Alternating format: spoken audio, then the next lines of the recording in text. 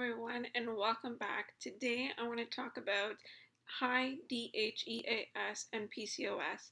This is Dr. Samina Mitha here, naturopathic doctor, and we're going to jump right into what is DHEAS. So, this is a type of testosterone that is primarily produced from the adrenal glands in our bodies. This is a little gland that looks like a triangle. Um, looks like a triangle shape actually, and sits on top of the kidneys. Um, so this is where we actually make DHEAS. So since it's a type of testosterone, this is where we kind of see those testosterone driven like symptoms that are commonly seen in PCOS, like excessive hair growth, um, excessive hair loss, and then also irregular cycles and acne.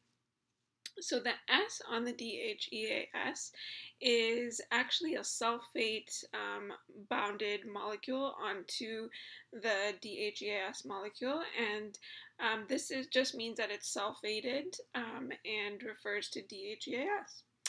And since this um, is a type of testosterone, but it be, it comes from the adrenal glands.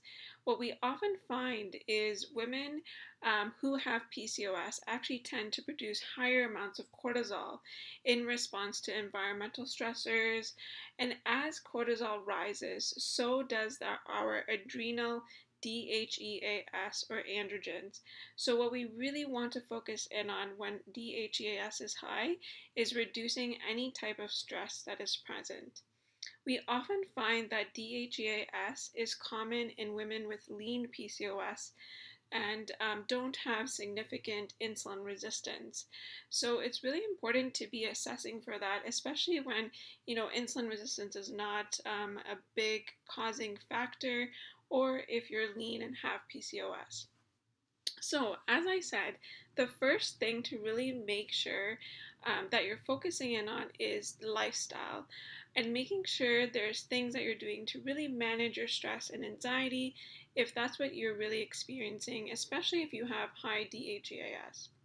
They actually did a small recent study with about 30 participants with mindfulness yoga three times a week for one hour each and women with PCOS actually showed to lower their free testosterone and DHEAS levels.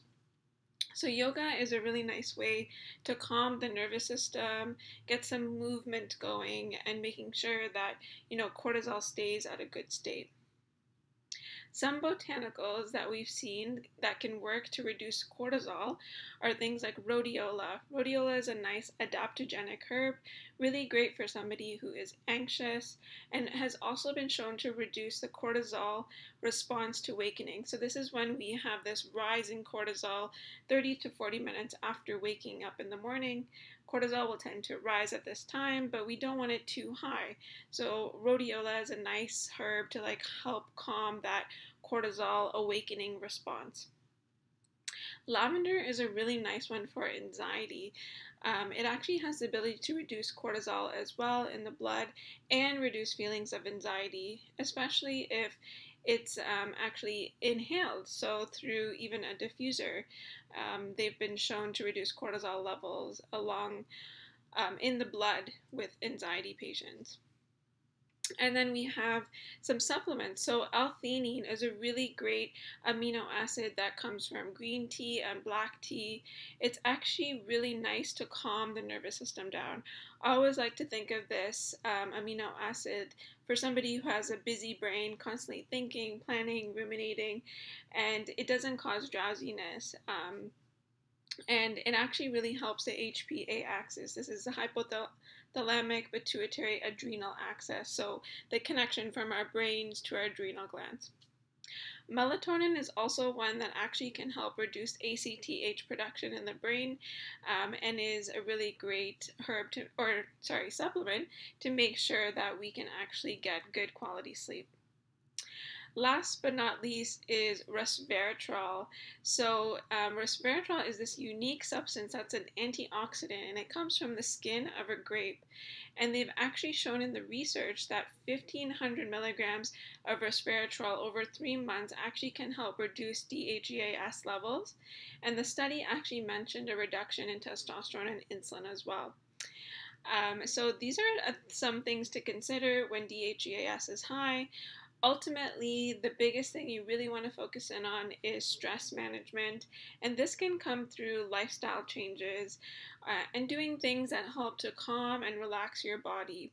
Um, lots of self care, especially when DHEAS is high. So, whether that's drinking a tea, listening to music, watching TV, doing something you really love, like a hobby, taking a bath, doing yoga, like we mentioned, meditating, uh, regularly being more mindful throughout your day, going for a walk, exercising, things like that, all of those can be really, really helpful at calming DHEAS you really want to become intuitive with your body, knowing when um, you know stress kind of comes up. What are some of the triggers?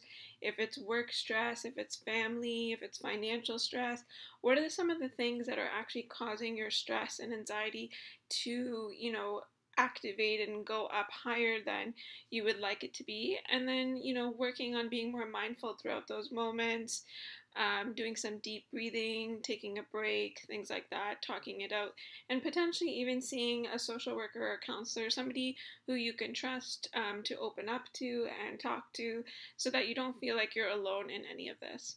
Hopefully, this was helpful, and um, if you have any questions at all, drop them in the comments below.